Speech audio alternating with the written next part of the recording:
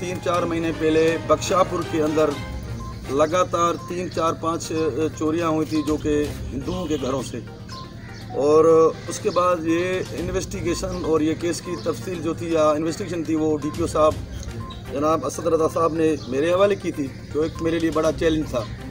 उसके बाद हमने लगातार जो है इस पर काम किया वर्क किया और अल्हम्दुलिल्लाह आखिर हम इस नतीजे पर पहुँचे कि वहाँ का एक मकामी जो कि एक हिंदुओं के साइड में ही घर के साथ रहता था, जिसका नाम शफकत हुसैन उर्फ़ टोनी वलद मोमिन सुमरो, वहाँ का मकामी था और उनको हमने अरेस्ट किया सीसीटीवी की मदद से। फिर पर हमने इनसे इन्वेस्टिगेशन की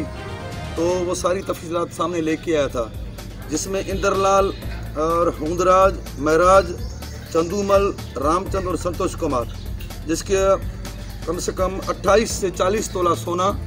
और 10 लाख से करीब वो नेट कैश थी जिसमें हमने अभी जो है 27 तोला सोना वो इनसे बरामद किए और छः लाख रुपए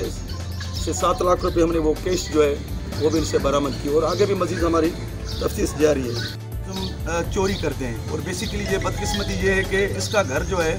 वो जो वहाँ के मकामी हिंदू हैं, उनके साथ ही घर है। तो वो वहाँ से ऊपर चढ़ के दीवारों से छलांग लगा के उनके घरों से आता था।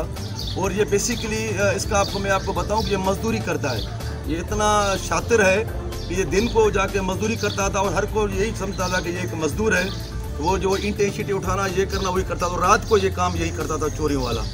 और वहाँ भी कुछ लोग ऐसे हैं जिनको ये कुछ सामान बेच के आए उसको भी हमने वो अपनी तफ्तीश में ला रहे हैं कि उनको इसने क्या क्या सामान बेचा है वो भी आपके सामने लाएँगे